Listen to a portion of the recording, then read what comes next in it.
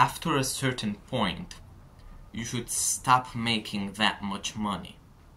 The two levels of wealth is first, having what's necessary. Having what's necessary is, of course, necessary. You need to have a good financial base. You need to have financial independence, right? Without the necessary phase of wealth, the second one is pretty inachievable.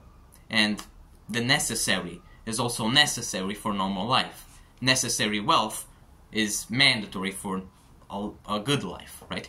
The second level is having enough. After a certain, a certain point, you need to stop making money. Enough means being able to retire your family, being able to provide for your family, provide for your children, just to max out the health of your family.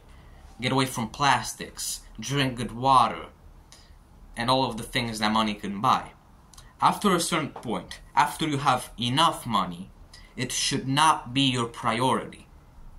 If you keep making money after this point, after having enough to retire your family, provide for your family in the future, to retire yourself, that is a cope. It is a way of coping with the real questions of life.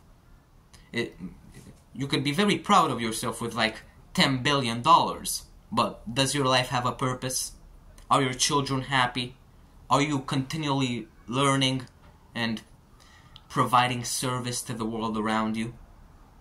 After a certain point, money doesn't have value.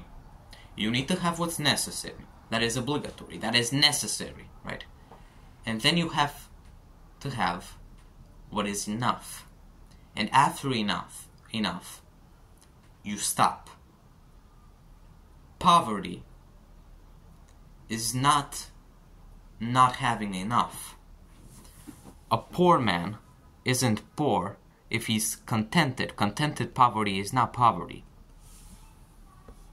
The real poor man is the one who has enough but still craves more. Don't be poor.